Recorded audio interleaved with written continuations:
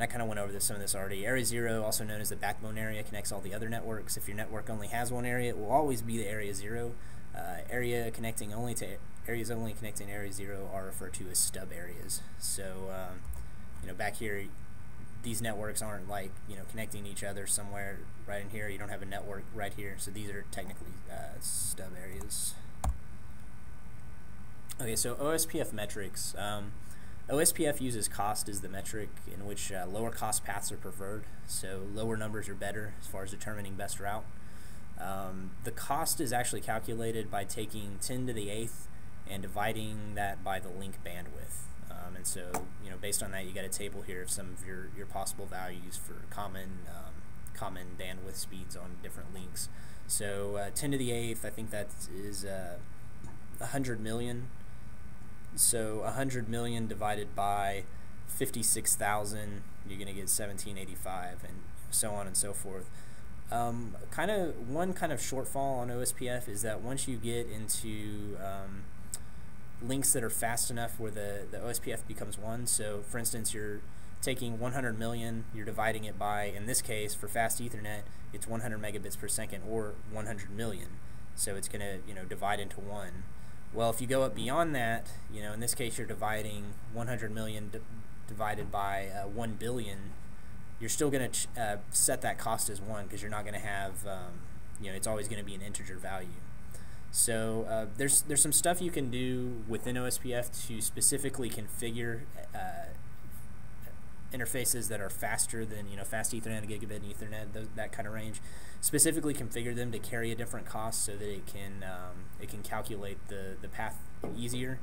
But um, just keep this in mind. Like if you haven't specifically configured that, like once you get to about fast Ethernet and beyond, the OSPF cost is always going to be one because you can't divide this into smaller numbers than that.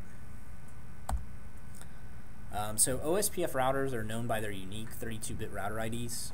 Um, that 32-bit router ID is, is going to be based on an IP address. So what it first prefers is the highest IP assigned to an active logical interface. Logical interface means it's it's not a physical interface. Um, it's it's only logical. So in most cases, it's going to be a loopback address.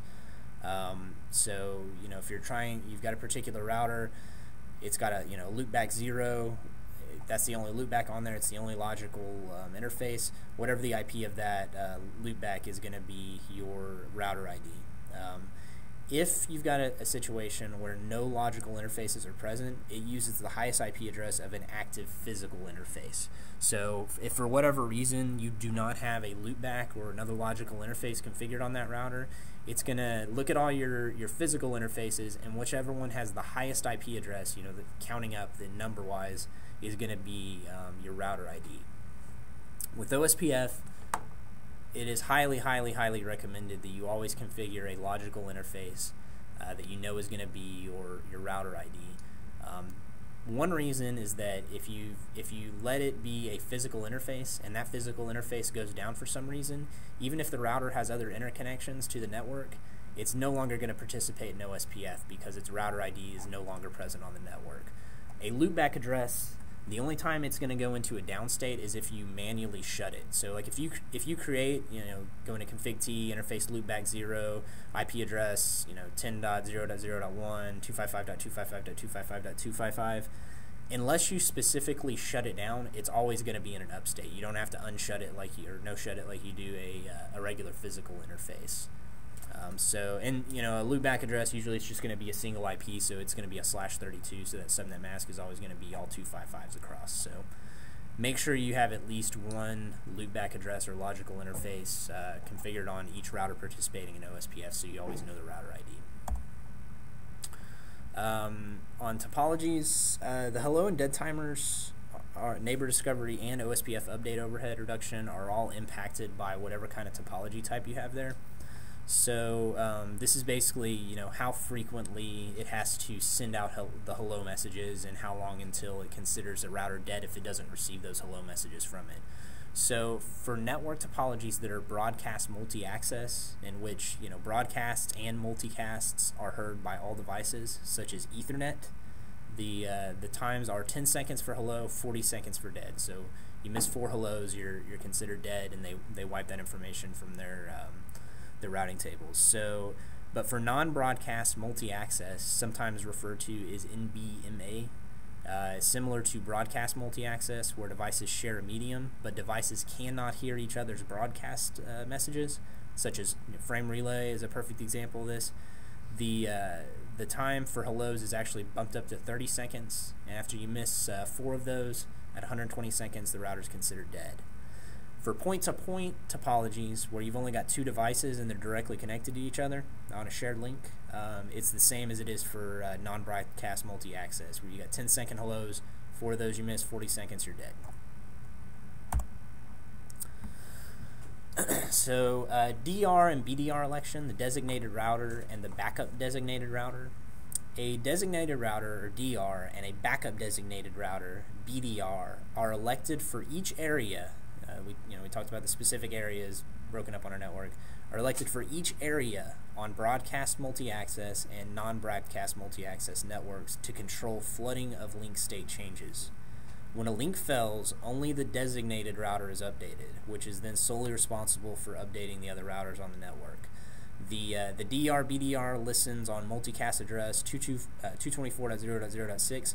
All routers in the area listen on 224.0.0.5. Both of those are, are multicast addresses. So basically, what this is saying is you've got you've got an area, and you've got let's say you got 15 routers in there when you get a lot of routers in there, if a if a topology change happens, you know, it, you might get a flood of updates as a result of that.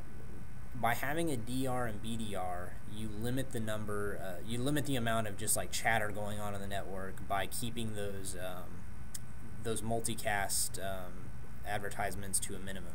So what happens is if a you know if a router anywhere in that network in that area of an OSPF network goes down, Instead of just you know telling that to every single router around it, it only tells that to the 224.0.0.6 multicast address, which only the DR and BDR are listening to. Once they once the designated router hears that message, then it subsequently um, advertises that out to all the routers on the network via the 224.0.0.5, rather than having every router in the area just uh, slamming that out to every single other router. So it, it basically reduces the amount of just information going back and forth for those updates. And so this is, you know, kind of a, a quick example of that. You know, say you've got, um, you know, router A is your uh, your your designated router. This link to router B goes down. It's going to send a message to A to tell it that that link went down. A is going to subsequently tell each of these individual routers that uh, that link went down rather than having this just spam it out to every, you know, rather than having router B spam this out to every router and then every router subsequently spamming that same message out to every router, um, you've just got, you know, two instances of that happening.